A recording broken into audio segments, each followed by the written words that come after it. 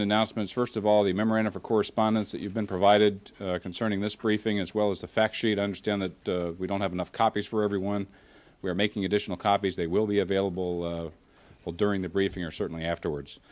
I'd also like to mention to you that between this briefing and our regularly scheduled uh, Department of Defense news briefing, there will be a 10-minute break so that those of you that want to file can do so. I realize 10 minutes isn't all that much time.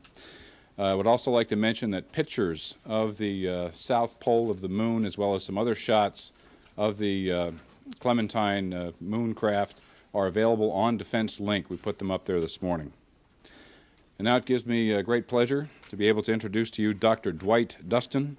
Dr. Dutson is the Assistant Deputy for Technology of the Ballistic Missile Defense Organization. As such, he is responsible for all research and development for missile defense. Uh, he will introduce experts associated with the project who will brief you on their roles in this remarkable discovery of water ice on our moon. Dr. Dutson. Thank you very much. Good afternoon, and uh, I see by the large number of people here today that uh, this is uh, kind of beyond our wildest expectations in terms of the interest, both from scientific and the military community. So I welcome you all here today. Two and a half years ago, we were here in this very room to talk about the launch and the successful image transmissions from the Clementine satellite. Uh, the Clementine satellite represented a revolution in uh, spacecraft engineering uh, because of the major cost reductions and schedule reductions that were uh, part of this project. Um, today, we're here again uh, to talk about one of the many great discoveries that have come out of the many, many imagery, data, and, and other measurements that were made by the very advanced technologies on board of Clementine. Uh, we're very proud of this particular measurement because it represents something which we think is of very large importance and has a big impact on the scientific community, as well as our understanding of the solar system, as well as exploration and the future of, uh, of humankind in space as well. Um, the Clementine project, uh, first of all, let me tell you, was a, a joint project. Something very, uh, very good took place in the government. The Ballistic Missile Defense Organization, uh, was in charge of the project. The Naval Research Laboratory designed and built the satellite. Lawrence Livermore Laboratory built the sensor package that was on board. And uh, finally, NASA contributed by support, financial support of the scientific team that analyzed the data, as well as providing to us the use of the Deep Space Network array of antennas to receive the transmissions back uh, from Clementine. So this was truly a joint government operation between many arms of the U.S. federal government. So we're here today to talk about this discovery uh, that it took us a year to analyze this data and a year to get it published in Science magazine. And so who, what I've done today is I brought three experts who represent uh, very different aspects of the Clementine satellite to help me describe this today. Uh, with me from uh, the, the, National Reconnaissance Organization is uh, Colonel Pedro Rustan. Pedro was the um, project manager of the Clementine satellite program, and he'll be discussing immediately after me for a few minutes. He will discuss uh, the some of the aspects of the satellite and why this mission was done and what it meant to the Department of Defense which I'm sure is a question that many of you have on your mind. Uh, following that, I'd like to introduce Dr. Stewart Nozette from Lawrence Livermore Laboratory. Stu was the person who envisioned the ICE experiment, how to do the detection using the bistatic radar, and he will talk a little bit about that for three minutes. And then finally ending up, I'd like to introduce Dr. Paul Spudis from the Lunar and Planetary Institute. Paul is a internationally recognized expert in lunar geology. He's a geologist, and he will handle the scientific aspects of the discovery and what that impact is for, uh, for everybody in the future. I'm sure you all would like to know uh, where this is all going and where it might lead, and he will be glad to speculate on that. So let me introduce, uh, let me turn it over to Colonel Rustan, who will talk about the Clementine mission. Thank you very much, Dwight. I'd just like to say that uh, why the Clementine mission was done and why the Ballistic Missile Defense Organization and the relevance that it has. Back in the late 1980s, the Ballistic Missile Defense Organization, at that time the Strategic Defense Initiative Organization, built a lot of advanced technologies. These technologies were about an order of magnitude smaller than anything that was available at the time. The reason why these technologies were developed is because we needed to do a space defense you know, there was a great emphasis at that time of a space ballistic defense that we needed to build a small satellite to provide space defense. So many cameras, many navigation and guidance systems were built along those lines. By the time I got to the Ballistic Missile Defense Organization in 1989, you know, it was very clear that there was not going to be a, a, deployment of space defenses. So what we try to do here is think about a way to demonstrate these technologies so the rest of the community could use it. Otherwise, technology will be sitting at shelf somewhere, and the commercial and the military community will not have access to it. So the Clementine, the purpose of the mission was to integrate the most advanced technologies that we have developed at the Ballistic Missile Defense Organization in a compact package and test it you know, testing that package, the best way to do it, especially with multispectral images, 11 different images, is to put it together in a small 500 pounds mission. So you have here a 500 pound spacecraft. And you put that spacecraft together and you fly it out in a place that you can collect useful information. And after a lot of discussions, you know, working with NASA and Department of Defense, we decided to fly the mission around the moon because we needed to demonstrate these advanced multispectral imaging technologies that we have developed. So there were six cameras and a laser altimeter, you know, mounted together in this payload. And uh, the mission was put together in 22 months at a total cost of $75 million, which by any sense of the imagination is a revolution mission of this magnitude would have cost at least $300 million in those days and even today. So what we wanted to do is demonstrate the faster, cheaper, and better strategy. A lot of people had spoken about faster, cheaper, and better, but nobody had actually implemented, put it together in a way that actually makes sense.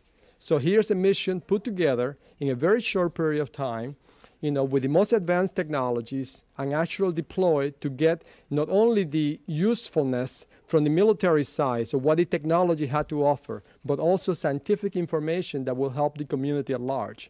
So my next partner, my deputy at that time, Dr. Nozette, will discuss specific details concerning the the mission that we're discussing today, today, which is the bistatic radar. You know, that's something that was thought out after the spacecraft was orbiting around the moon. The spacecraft collected 1.8 million images of the moon. You know, and when the time uh, when the spacecraft was orbiting the moon, the idea came up that it might be possible to look in deep into the craters in the South Pole about the possibility of ice on the moon. And that's the way the, the experiment was conceived. This was not designed, the spacecraft was not designed for that purpose. The spacecraft was designed to test all this advanced technology. There were 23 new technologies never tested before, and each one of these technologies was about an order of magnitude less than, than what had been done previously, all put together in this very compact spacecraft in a very short period of time. So I will pass the, the podium to my deputy, uh, Dr. Nozette, who will describe the actual radar experiment. Thank you. Thank you, Pedro. Uh, as uh, Pedro mentioned, uh, this experiment was really an experiment of opportunity. I think we had maybe thought about doing it before the spacecraft was launched, but we had so many mm, tasks to accomplish to get the spacecraft to the moon. I think any mention of you know extra experiments once we got there were sort of uh, dismissed, uh, considering the uh, the uh, all the problems we had overcome to get it there. I think once we got to the moon and were in lunar orbit, people had speculated since the early 60s of the possibility that ice might collect in the permanently shadowed craters at the lunar poles. Unfortunately, until Clementine, no one had really taken a very good look at the lunar poles and weren't, weren't sure really how much permanent shadow was there. I think uh, the subsequent speaker to me, uh, Dr. Spudis, can elaborate on this, but one of the first things we saw early was that it looked like at the South Pole had quite a bit of permanent shadow. Uh, unfortunately, by definition, since it's permanently shadowed, nothing shines in there, there's no way to illuminate uh, what's down there. We didn't have anything on the spacecraft, we thought, until uh, we thought that, well, we do have something on the spacecraft we can use to shine the uh, communications antenna. And uh, bistatic radar, I'll just refer to this chart uh, briefly. Basically, all that means is the transmitter and the receiver are at different places. And so what we were able to do is use the spacecraft antenna like a flashlight and point the antenna into the lunar south pole. Oops, I've got my pointer here. The uh, key thing to looking to detect ice is ice reflects radar waves differently than rock. Rock basically acts sort of like a smooth surface, like a mirror effectively, and bounces them back with one bounce. The wave doesn't really go very far into the rock. Ice is very transparent and it's what's called a low loss material. It, the radar wave can actually penetrate in, into there and actually gets bounced around and rattled around and can bounce back like a roadside reflector. So basically, what we were looking for is as the spacecraft came around in this angle, as it all lined up, you'd see a backflash, basically, of uh, radar signal right at that point. And the uh, other thing that happens, and this is somewhat of a technical term, is the polarization changes. The, the spacecraft transmits a wave of a certain polarization. Ordinarily, pure rock would flip the polarization 180 degrees. Because ice is transparent, the wave bounces around, some of it comes back uh, with the same polarization. And this effect has been observed on Mercury, on a number of places in the solar system where uh, ice is known to be, and it is considered somewhat diagnostic. And we see that effect very cor much correlated to this angle. So as this angle gets small. So we were able to take four measurements, uh, two measurements at the South Pole, two measurements at the North Pole. And one of the measurements, which was the measurement that uh, basically spotlighted the, the permanent shadowed area, did show this polarization effect. The other measurement at the South Pole, which did not illuminate permanent shadowed area, illuminated normal uh, lunar surface, did not, and as a control. And the two uh, measurements we made at the North Pole also did not show this effect. And Clementine showed that the North Pole had much, much less permanent shadow. So it appears the effect that we saw is what's predicted uh, for this type of uh, radar signature, and it seemed to be very much isolated to the South Pole. And in fact, uh, there is a graph over there that shows that. We actually tried to uh, segregate the dark area in, and really isolated the fact that that return really is isolated to the dark area, and it is suggestive of, of uh, ice.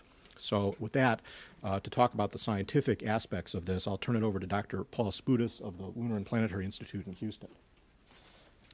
Thank you, Stu. I'd like to briefly discuss sort of two aspects to this uh, amazing discovery. First of all, from a scientific viewpoint, what does this mean? And secondly, from a utilization viewpoint, what good is it?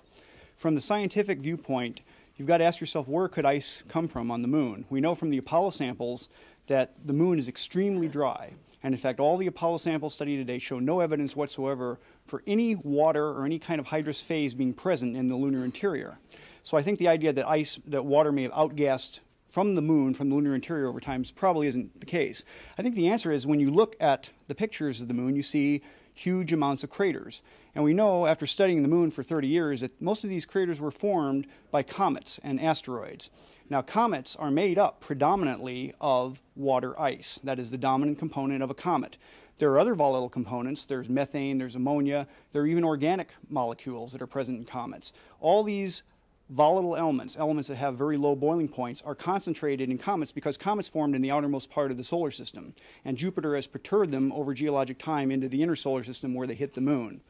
Now, the significance of the dark area becomes apparent because as a comet hits the moon, that water vapor hangs around the moon as a cloud. If any water vapor gets into a cold trap, which, by the way, is only about 40 degrees centigrade above absolute zero, so they're extremely cold, if a water molecule gets into the cold trap, it cannot get out again. It doesn't have enough thermal energy to hop out, and there's no way to knock it out. So over time, over 3 billion years, you could accumulate a significant amount of water ice in the dark area.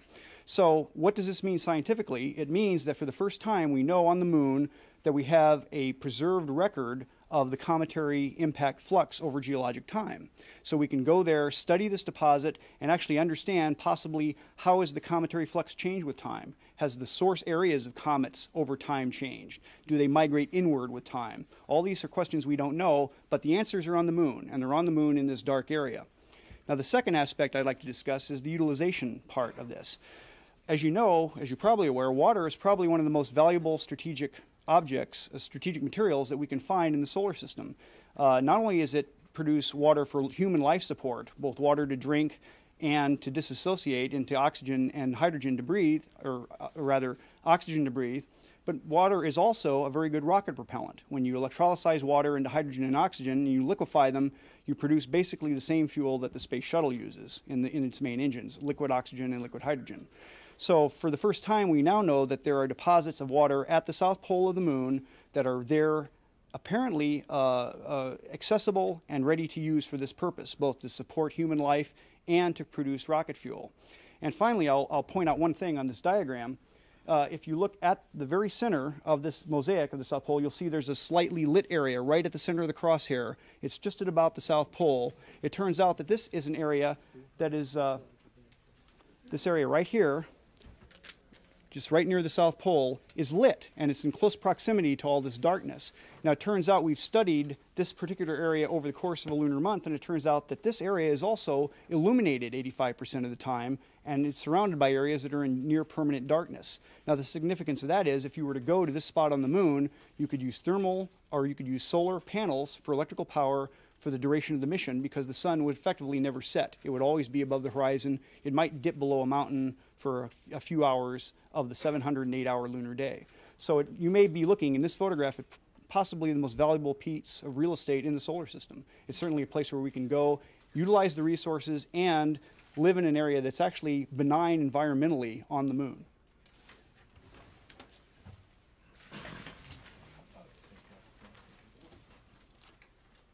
You want to talk about yes?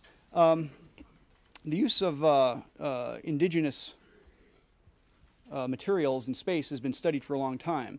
You know, we've known that uh, from the Apollo results that there's hydrogen in the lunar regolith, and, and it's pr- produced there by the solar wind and plants it on the grains.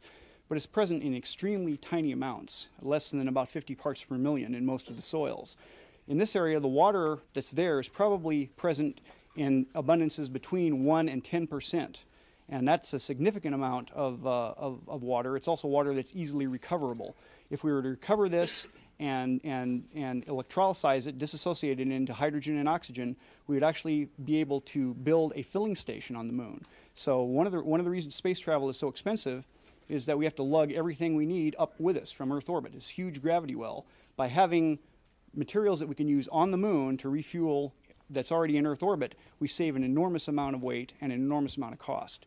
So the significance of this uh, to future exploration of the solar system is, is, is very, very profound. And with that, I'll turn it back to Dwight. Thank you very much, Paul. I'd like to throw it open to questions now, if we could. Sir, how strong is the indication that you have? We spoke of an indication and a hint uh, from reflected uh, rays. How accurate are these readings? How really indicative are they of water, or are they just the first sign? We have the one measurement that indicates basically the predicted response. So I'd say the principle, if we were, I would say we would certainly have to have more measurements. The other thing that's very, uh, very highly suggestive is it's very highly correlated with this permanent shadow. So we're saying we're seeing the effect correlated with the permanent shadow. Does that mean there is ice? Well, there's something that's ref, uh, ref, re reflecting radar signals like ice. Which your geologist said it was ice. Highly likely. that Could I it's follow ice. up? Uh, There may be other stuff mixed in with it. What Carbon other things, dioxide and other what things other like things that. would give the polarization effect that you're reading now as possible water? Well, we looked at the possibility, uh, you know, that it could be a funny arrangement of rocks and other things, but again, it really was so highly correlated with that angle and so highly localized to the South Pole that you know it's it, it most likely explanation is something that is low loss, and ice is the most likely uh, thing.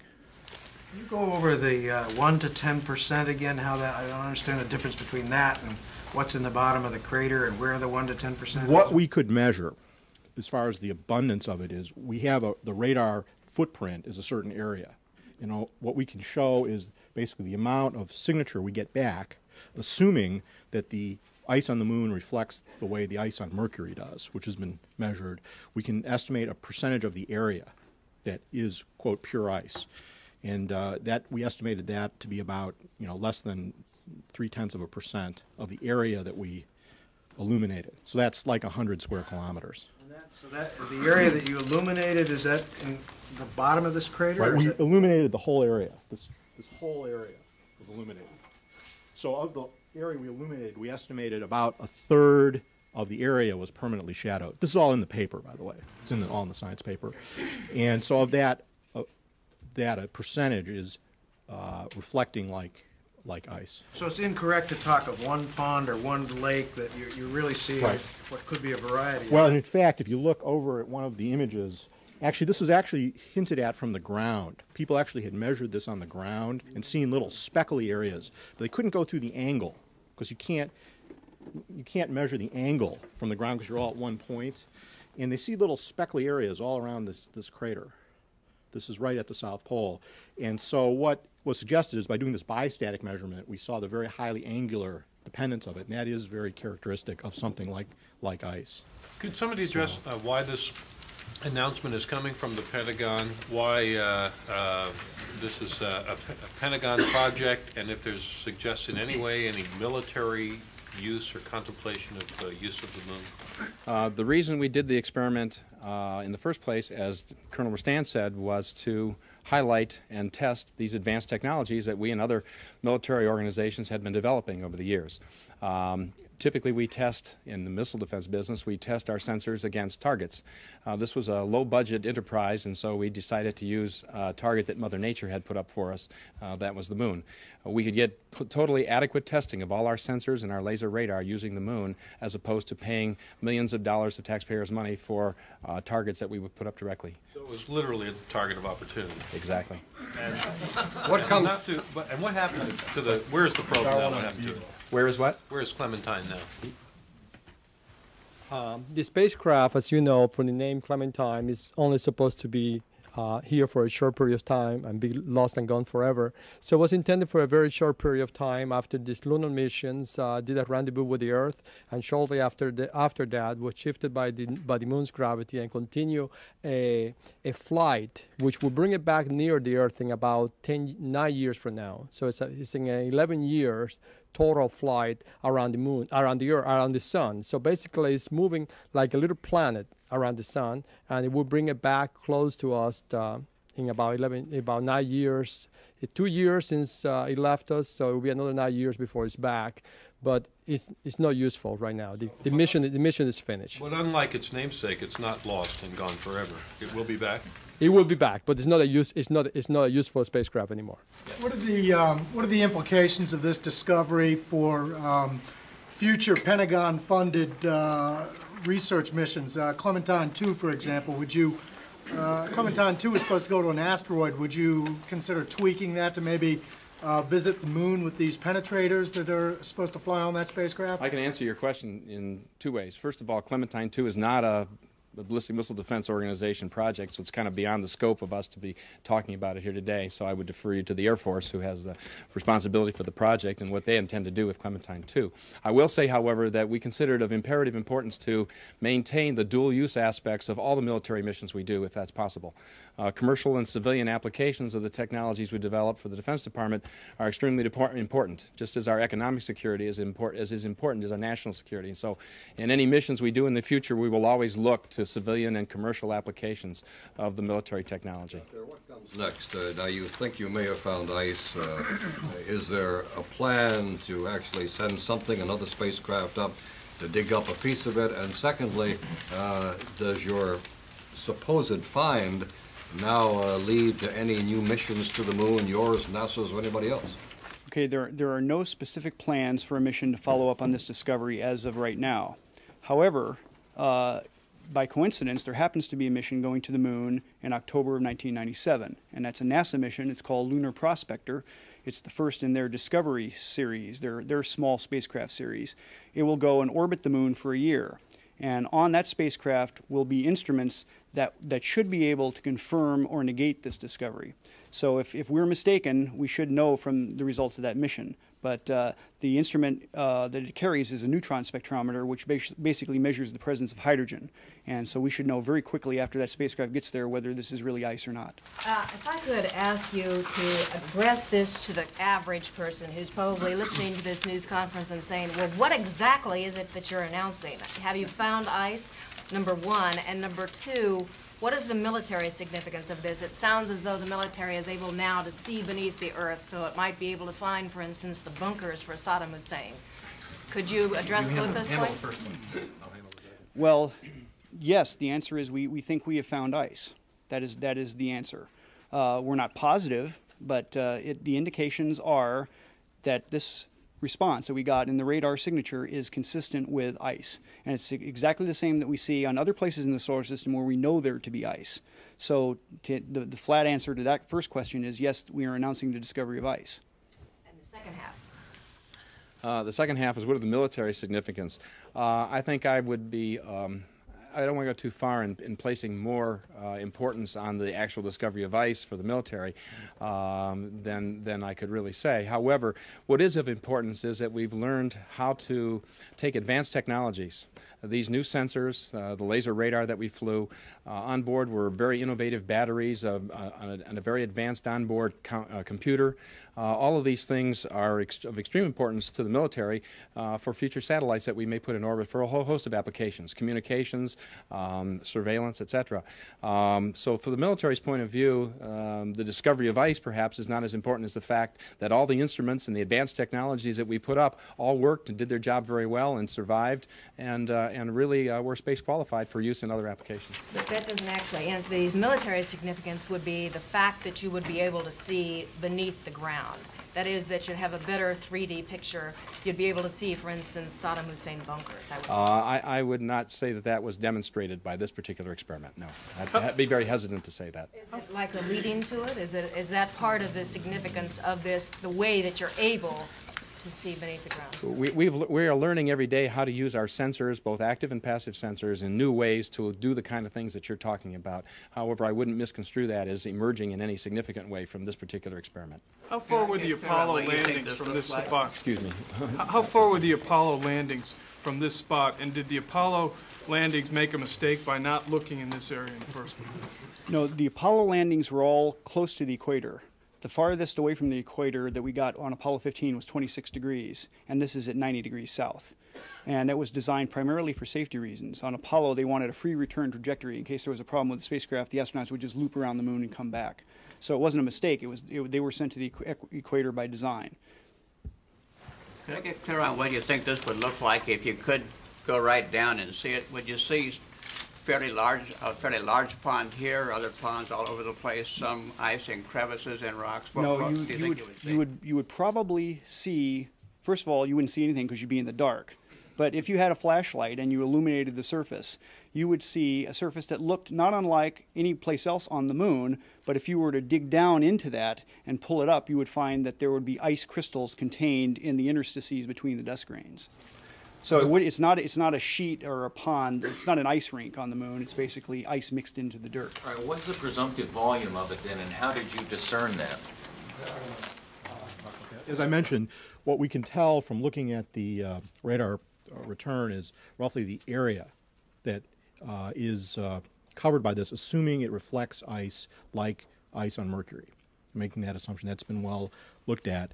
And then in order to see this backscatter effect, this, this uh, uh, you know, road sign reflector effect, uh, it's estimated that we have to see some number of wavelengths of our radar into, into the ice. And in reviewing the paper, uh, several of the reviewers posited we, we probably need to see somewhere between 50 and 100 wavelengths. So our wavelength is about uh, six inches.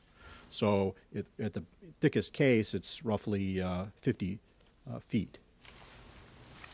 And, yeah, but what, and that translates to what in volume? Um, we were very conservative in the press release, but if you take basically 100 square kilometers by roughly 50 feet, you get a volume of something like a quarter of a cubic mile. I think it's on that order. it's a it's a considerable amount, but it's not, you know, a huge glacier or anything Can like you that. compare that with something you know? Uh, it's a it's a lake, I think. You know, it's a modest-sized lake. Small lake. But it's a dirt lake. Uh, it's right. A mixture. It's mixed mixed in. right. Dirty dirty lake. Uh, this is actually from Korean Broadcasting System. If the existence of water and uh, microlife uh, is eventually confirmed when do you predict the uh, we can uh, construct the Earth's colony on the moon in the future? Uh, we have a long way to go before we start living on the moon. What what this is is an indication that living on the moon might be possible. And so the first the, the first thing you would want to do is first of all confirm this that we are indeed making the right conclusion from the data. Secondly, to assess is our estimate right? How much is there? Uh, what is its physical state? How much rock is mixed in? Can we get at it? And, and then, you, I, I, to me, that uh, implies a whole sequence of, of robotic missions before you actually send people there. But ultimately, I, I would think certainly within the next uh, 50 years, someone could be there using this material. Can you update us on what, uh, can you update us on, you- the Colonel mentioned that by the time he got to the office in 1989, it was pretty clear the U.S. wasn't going to deploy a space-based missile defense system. What's happened to the Star Wars program? How is, how has your office changed, and what are you using this technology for today? Um, although many of the uh, space platforms that were really envisioned as part of the Strategic Defense Initiative Organization program back in 1989 um, have not been supported and continued uh, because of the change in emphasis, uh, including the name of the organization to the Ballistic Missile Defense Organization. Uh, we're now primarily focused on theater missile defense and national missile defense, defense of the U.S. Uh, continent and, and uh, and Alaska and Hawaii, and are uh, with uh, with a much reduced threat. Uh, and of course, we have the uh, demise of the Cold War to thank for that. However, there is still a spaceborne component to our uh, theater and national missile defense architecture, and that is the uh, space-based infrared satellite. Uh, and that will allow us to do tracking, uh, particularly in the boost and in the mid-course phases of the trajectory of a, of a ballistic missile. So all the technologies that were demonstrated on Clementine are technologies that we would hope uh, would be either used or be the, the granddaddies of technologies that we would eventually use in our space surveillance platforms. So that part of the, that part of the space architecture is still very much alive. But the role of the, the so-called Star Wars. System now is, is shifted to a more of a surveillance as opposed to shooting something down No, it's still no. It is still based on uh, shooting down ballistic missiles by impact with interceptors. Um, so the, this this this technology is important in order to track and pass the track files on to the interceptors in order for allow, allow them to hit their targets. So it's very much a part of the architecture. Does this mean you'll ask for more money in Congress now that you've found this new discovery? Uh, I don't. I don't think that Congress would be swayed by a discovery of ice on the moon. I think the argument for or against missile defense will stand uh, on its own merits, as opposed to uh, whether this uh, satellite has been successful in finding Set ice. time frame. When, when was the uh, radar signal received back uh, by the Clementine from the moon's surface, and when was that information returned to Earth? Uh, we did the experiment in uh, April uh, of 1994, and it took us uh, about a year to get the date to really uh, analyze the data. And I'll point out to Chris uh, Lichtenberg over there, who's our uh, RF engineer for from NRL, and then uh, writing up. Then we had the paper. We had the findings basically internally reviewed by some uh, radar experts in September of '95. Went ahead and wrote up a paper submitted it, got back uh, basically some peer-reviewed suggestions on how to uh, improve the case. Worked some additional, did some additional work through the spring of uh, 1996, and then resubmitted the paper with those corrections and improvements in May of 1996.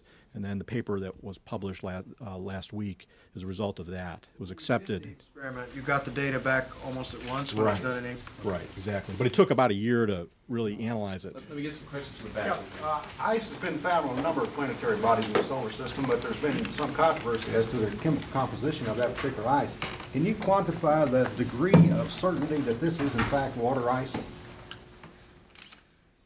You can only do it on by a statistical argument. And the argument I would make is that this ice on the moon comes exclusively from the cometary impact flux. It does not come. It's not. In, it's not indigenous to the moon. Now on Mars, you have polar caps, and they're made of, of carbon dioxide, but that's indigenous to Mars. Mars has an atmosphere of carbon dioxide. On the moon, this ice is coming from the cometary flux. And most of those comets, the 99% of the mass of a comet is, is water ice. And so uh, that may be a little high. 90% of the mass of a comet is water ice. And, and the other volatile species like methane and ammonia and other volatile elements are in, present in much lower abundance. So that's the argument that it's water ice. Yeah, I'll ask again, can you quantify that in percentages, uh, your degree of I thought I just did. I, I'm guessing around 90% or so, but, but, but that's a guess, okay? Can I do a follow-up on that? When you're talking about ice, we know ice as water that freezes at 32 degrees Fahrenheit.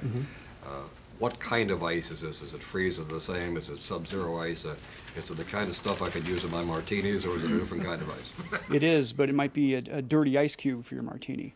It, it, it is water ice. It does freeze at, at zero degrees centigrade, 32 degrees Fahrenheit, uh, but it is mixed. It's, it's clathrated, or in other words, with other volatile species, things like methane, things like ammonia. We don't know what the relative proportions are. All we can do is estimate what they are.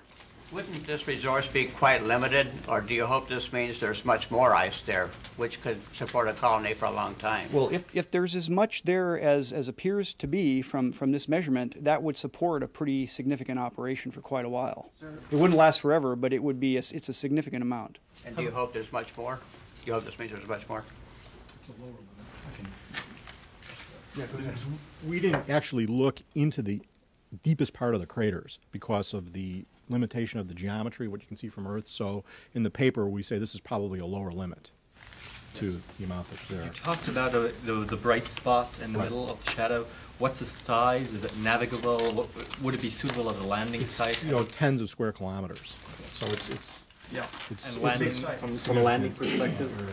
Uh, and when we had the paper under review, by the way, I had made suggestions that it might be sulfur, uh, as well. And actually, one of the reviewers, uh, indicated that we probably, uh, take that out and say it's water ice is the most probable. So even the peer-reviewed folks that looked at the paper made that input. So I, I just want to be clear on the technology that was used to make this discovery. Was it an advanced SDI BMDO technology, the antenna and computing equipment, or was it, or could this have been done using regular NASA technology? I might make one point on the technology. Uh, I'll turn it over to Pedro. But the fact that we were able to reprogram the spacecraft so rapidly to do this experiment so quickly and so precisely really is a, a measure of the advanced state of the art hardware and software and the very lean and effective operational uh, capabilities we had with Clementine. We were able to do it basically so quickly and so precisely and actually point the spacecraft this precisely. I'll, I'll turn that rest of that over to Yeah, the answer to your question is a very straightforward technology that has been around with us for a long time.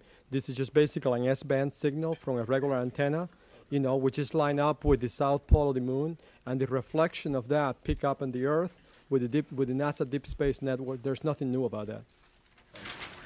How, how big an object made this crater, and when did that event happen?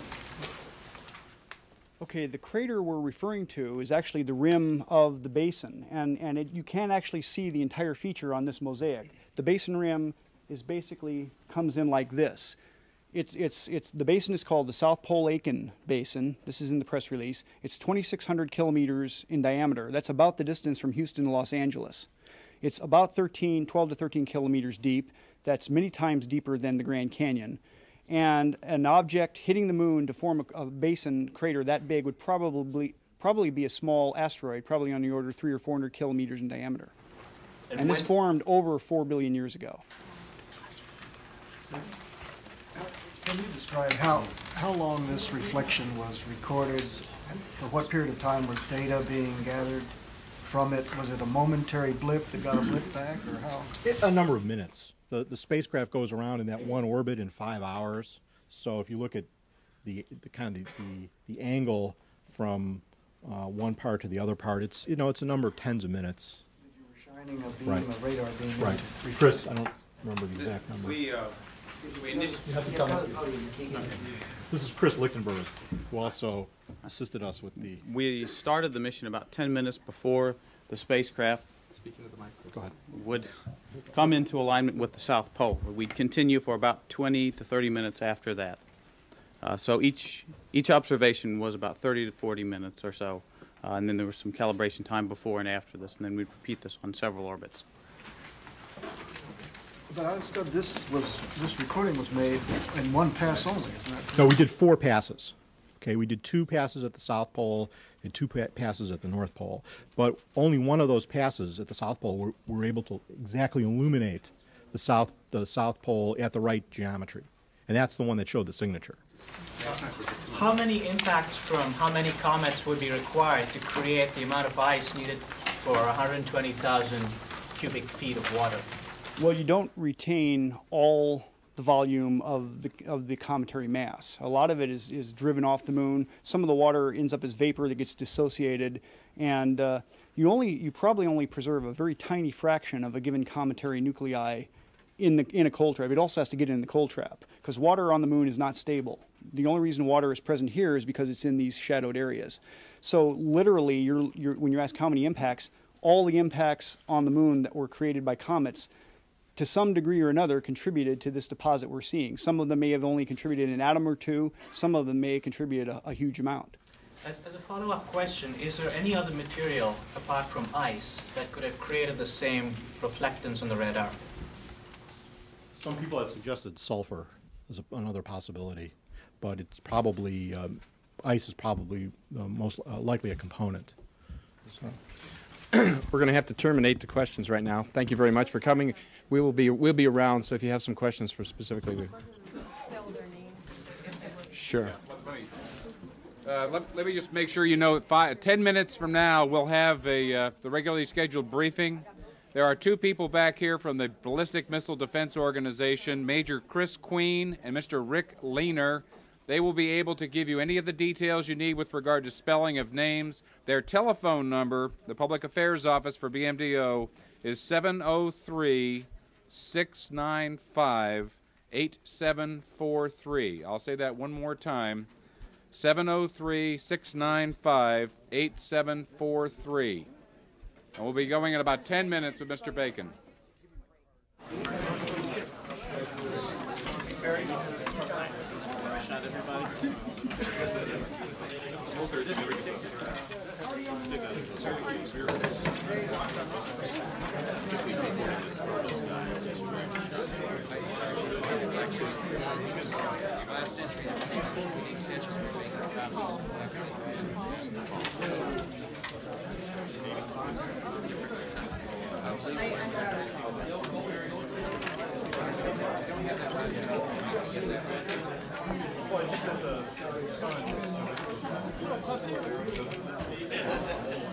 Uh,